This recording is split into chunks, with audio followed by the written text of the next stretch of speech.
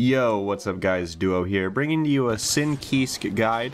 I planned to do this video after the patch notes dropped and they fixed all of his issues, which did not happen, so I figured I'd just send it now. Uh, but yeah, Sin Kiske's gimmick is that each special attack has a unique follow-up it can cancel itself into using one bar of stamina. Hawk Baker is a strike invincible reversal that can cancel into a second attack to keep things ambiguous on block while knocking the opponent away on hit. Beak Driver is a long-range stab with a follow-up that sends the opponent opponent flying back. Elk Hunt is a sliding low that goes under most projectiles. It can cancel into a strike that guard crushes on block and allows Sin to maintain advantage. Hoof Stomp is an airborne overhead that ignores low attacks and grabs. Part 2 is for extra damage as well as providing a mix-up on block. Sin can also spend stamina to dash cancel any version of his special moves to help close distance and maintain pressure. His goal in neutral is to use far-reaching buttons like 2S to confirm into his special moves. Sin's corner carry is really good when he uses stamina, so it's not not that hard to put your opponent's back against the wall. Once you have them cornered, Sin has a variety of options including high-low mix-ups, grabs, and pressure resets. As far as offense goes, usually his strings involve using slash to poke. At range you can go straight into Beak Driver, but if you're close enough you can use either 5H or 2H to close distance on block and get more damage on hit. 2H is risky, but on hit it puts the opponent in the air, which allows Sin to do a variety of combos. At close range, Hoof Stomp will cause a ground bounce which Sin can dash cancel to extend his combo combo even further. Your next best option is Elk Hunt, which has a bunch of options depending on how much stamina you want to use. For no stamina, you can stay close to the opponent. For one bar, Sin can either dash under the opponent to side switch, or get the follow-up for extra damage and corner carry. You lose Okizeme when you do this, however, you can spend another bar to dash cancel the second hit and stay close. If you want to save stamina or maybe just don't have any, you can spend Tension Meter instead to end your combos with a super. Tyrant Barrel is a one-hit super that has a manually timed follow-up when you press and hold the button again.